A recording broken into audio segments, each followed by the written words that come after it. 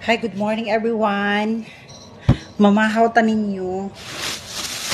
Wala ko ng plato-plato, silupin na lang ko. Na-stress ko sa ako ang kuan, oy, sa akong landlord.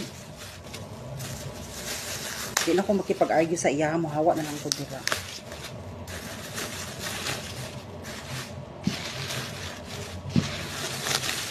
Lami ko siya i-report. Kaduhagod siya mag-charge aside sa 70-50 nga loan meter plus nag-add on na po siya og 20 pesos sa kuryente.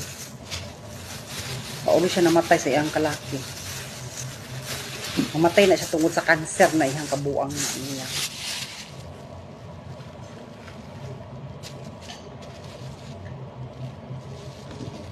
Tugod katulog gabi tugod sa kalagot. Uy.